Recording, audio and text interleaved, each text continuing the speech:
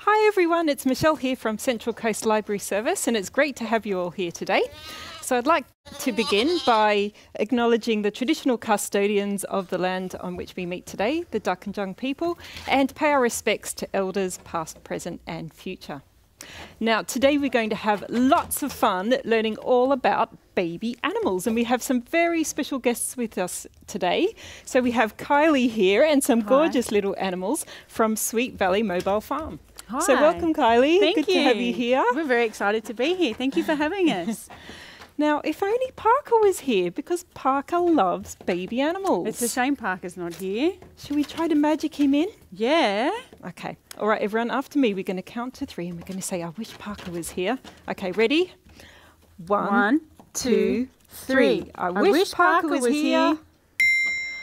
Wow. Parker, you're Parker. here. So glad you could make it. Okay, so Kylie, who have you brought in for us today? Well, our first little friend we're going to meet today is our little piggy, Jilly. Would you like to give her a little pat? That's it. Oh, she's a bit wiggly because she's ready to have her milk. Do you like to hold her? Yeah. Yeah, just hold her nice and close to Okay. you. Okay. And put your hand over her nose like that. Okay. And she'll snuffle in. Hi, Just Julie. give me a second. I'll just grab her milk. She sounds very hungry. Here we go. Here we go. Here's you ready, milk. Julie?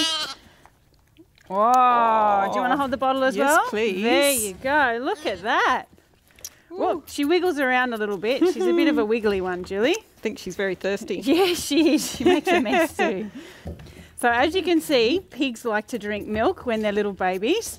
Now they drink milk for the first three months. Then they eat a mixture of grass and grains and worms, which makes them an omnivore. Pigs are a very special little animal. They're very, very smart. You can train them to do all kinds of tricks.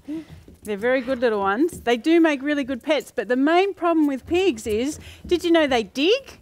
And did you know that they dig with their noses? Yeah, they dig with their noses. No, I didn't know this. So they make quite a mess because they're digging for food. So they're digging mm. for their bugs and their grubs and their roots. So they'll just dig and dig and dig and dig. So they are very smart and they do make good pets. But if you've got a lot of land, you can have a pig. So that's the main thing about pigs. And there's a very special way to keep pigs, the way that we keep them, is we have two identical paddocks. So we put them in one paddock and they dig and they do their thing and they eat and they turn all the thing to dirt and then they fertilize it as well. And then we move them to the next paddock and we go back and we put a grass crop or Oh, a grains or we plant our vegetables and they've done all the work. We don't have to do Oh, anything. good it's job, really little pigs. clever. Yeah. So we like the fact that pigs dig and we use them for that. So I think she's nearly done. She's very happy now, nice and satisfied. Seems a bit more calm now that she's had her food. Yes, isn't she just? so do you know what we get from pigs? Do you do art? Do you do arts and Yeah, crafts? we do. Do you use paintbrushes? Yeah. Yeah. Do you know that paintbrushes are made from pig's fur? No, I didn't know that. Yeah, There the bristles are paintbrushes. So they shave the pigs and then they make the little paintbrushes out of them. Oh, thank So you. do you know where pigs like to live? Where do they like to live? Yeah, on a farm. That's right. They do. They like to live on a farm. Um, and they also like to live in the mud. Have you heard of pigs in the mud before? Yes, definitely. Yeah, they're good, aren't they? But do you know why they like to live in the mud? They use it for sunscreen. Okay. And they also use it to stay cool. How clever. Yeah, they're very clever little piggies. So they roll around in the mud and they get all nice and dirty, and then the sun doesn't hurt them, and they're cool. They use it as like an air conditioner.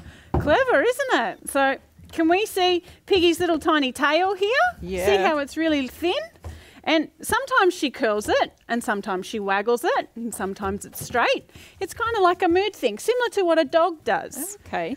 And then she's got one, two, three, four legs. And on the bottom of her legs, she's got what's called trotters. Little tiny trotters there. And you can see her nose. See how she's got the snout. So all she's doing now is she's just digging into my hand with her nose, practicing getting ready for digging the, into the dirt to get her food. So the more she practices her digging, the better digging she can do and the sooner she can do. So that's all she's doing now. She's not biting me or hurting me in any way. Oh. So, and then we can see her ears. See how her ears stick up? Uh huh. And how does she feel? You have a feel of her. She feels quite soft, actually. She is soft, yeah. isn't she? It's amazing that it gets so bristly, her fur. Would you like a pat? That they can turn them into paintbrushes. So, what about the noise of a pig? Can anyone tell me what the noise of a pig makes? Do you know what noise pigs make? That's Can right. that? They, "Ah, ah, ah, ah, ah." They grunt and they grunt. Now, pigs have lots of different grunts for lots of different reasons. They have quite a vocabulary of grunts and they also laugh. They come up and they go, ah, ah, ah, ah, ah, ah, ah." brilliant. It's, yeah, it's very funny. When they're very happy, they come and they rub on your leg and they go, ah, ah, ah, ah, ah. They're very funny little creatures. So, Julie here is just a baby. So, do you know what a baby pig's called? Tell us, what is it? It's a piglet. And then, so a mummy pig is called a sow, and a daddy pig is called a boar. Okay, should we meet our next little friend? Yeah, definitely. Who have we got next? Okay, next he's already jumped out and had a little look. now, this is our little goat. This is Jack. Oh, Jack, how cute. Yeah, Jack is very cute. Would you like to give him a pat? That's it. You'd like to give him a pat? Oh, That's so very soft. nice patting. Hi. So, what I do have with us today is a brush. Would you like to brush, Jack? I'd love to. Okay, we might pop him here on your lap. Okay. There, like that. Now, when we brush, we always brush from the head to the tail. So that's Okay. perfect. We do long strokes along his back. So, Jack is a very special little goat. He's actually what's called a pygmy goat, one of the smallest breeds of goat you can get. So, he is about six weeks old and he is still very, very little. Yeah. So, he's going to be quite a tiny little goat. Can anyone tell me what we get from goats? Do you know? I think you get milk. We do get milk, very good. And from the milk, we can make cheese. So we can make goat's milk cheese. Goats love to jump. They love to jump out of things, they love to jump over things. Do you know why that is? Tell us why. Because goats like to live in rocky mountains. So uh-huh. in rocky mountains, they have to jump from rock to rock to rock to get as high as they can. So we can have a little look at Jack. Can you see his little face? Now, can you see his eyes? So his eyes are different to our eyes. He's got a big long slit for an eye. And then he's got little ears that stick up and a little tiny tail. And then can you see how many feet legs he's got? He's got four legs. And at the bottom of his legs, he's got what's called a hoof. You see that? So, do you know where goats like to live? Where do they like to live when they're not climbing mountains? When they're not climbing mountains, they also like to live in farms. And they can make very good pets. They do like to live in backyards, but you need to have very good fencing and no, maybe not some dogs. We do know a lot of goats that live in backyards and they're very, very happy. Very good companion animals and very fun with kids because they're so naughty. They're always jumping out of things and over things. You ready for our next little friend? Yeah? Okay. So we have two of these little friends today, and they are twins. These are little lambs. That's right. Oh, oh, hello. So these are little baby lambs. Now, these lambs are about three weeks old, and they're very, very friendly, and they're a bit difficult to tell apart. I'll hold them up and we'll see if you can tell them apart. Ready? Can you tell them apart? Because I can't tell them apart. You tell them apart, Parker? No. Would you like to help me feed them their milk? I'd love to. Okay, here's the bottle. We'll put one down here. Okay. So just hold it up nice and high like that. There you go. You'll get your turn. Can you see how fast it's drinking? Yeah. Very, very thirsty, ready for the milk. Now they drink really quick. And can you see its tail here? It means it's very happy. It wags its tail. Oh, there it goes again. So does anybody know what we get from lambs or sheep?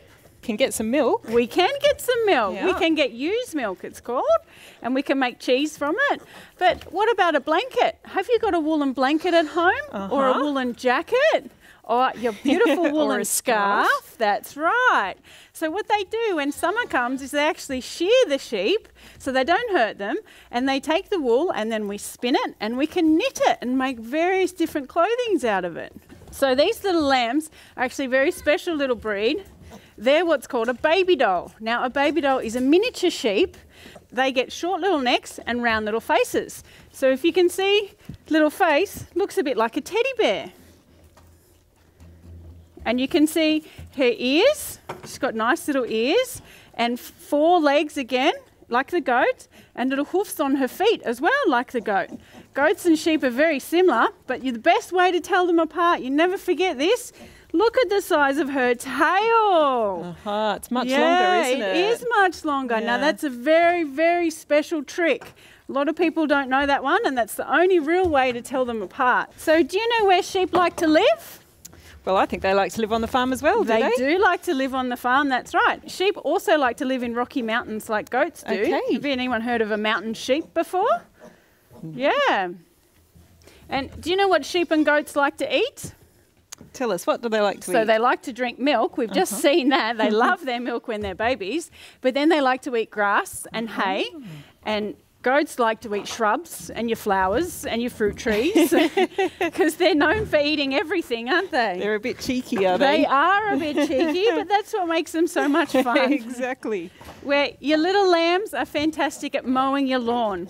So we don't actually mow our lawn. We have lambs that mow our lawn for us. Oh, that sounds very handy. It is very handy and they fertilise at the same time. So they've all got their part on our farm and they all do their jobs. They're very clever. Did you pat one? Would you like to pat the lamb? Oh, that's perfect. Nice and soft. Beautiful. There's lots of different type of sheep. The most common type of sheep that we find in Australia now is called the Dorper. Now, the Dorper sheds its own wool. It doesn't have to be shorn, but these little guys are baby dolls. We have to shear them. So we have to take their wool, otherwise, it just gets too big and it gets too hot for them. And how often do you shear them? E- Every spring, you should shear them, um, or as close to as possible. and there's lots of different breeds of goats as well. Jack being one of the smallest breeds of goat you can get, and then you can, they just get bigger and bigger and bigger. So a good goat is the Australian Mini. That's a nice size of goat. Uh, you can also get milking goats. You can get meat goats. There's lots of different types of goats. So if you're ever thinking of getting a goat as a pet, do your research and make sure you can keep them in. As you can see, we can't keep them in today. Did you have a favourite little animal we've seen today? I have to say, I do like the little piggy. The little piggy. She's Yeah, very cute, she's isn't so she? Your cute. favourite as well, the little piggy? She's what's considered a miniature pig, Mm-hmm. and she's actually um, a runt. So a runt is just the smallest of the litter, the smallest of the babies born. So um, she's an Australian mini. A lot of people tell you there's teacup pigs, Mm-hmm. not in Australia. We don't get teacup pigs in Australia.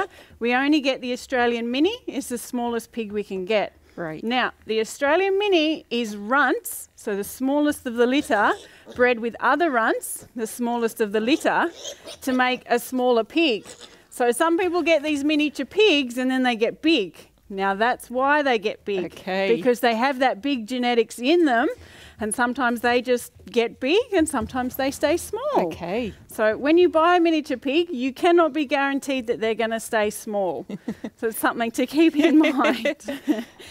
a miniature pig can be 70 kilos and still considered a mini, Wow. where a big pig starts at about 300 kilos. 300 kilos. That's My big, gosh. isn't it? Yeah. I think that's about all we've got today about our furry little friends. Has everyone learned something? Oh, that was brilliant. Thank you, Kylie. Oh, you're welcome. What did you think, everyone? Aren't they gorgeous? They're very cute. Yeah. Oh, well, thank you, Kylie, for joining us today. And thank you, everyone at home. We'll see you next time. Thank you so much. Bye. Bye. Now that we've finished meeting with all our baby animals today, the most important thing you, to remember when visiting animals is to always wash your hands. So today we've got some hand sanitizer. So we'll give you some of this and I'll have thank some you. of this and I'll rub it together, front and back and in between the fingers. Good rub. Now, if you've got soap and water, it's always better, but we don't have any with us today, so hand sanitizer works just as well because we don't want you to get any germs or anything from the animals. Absolutely not. Yeah, okay. Thank you so much.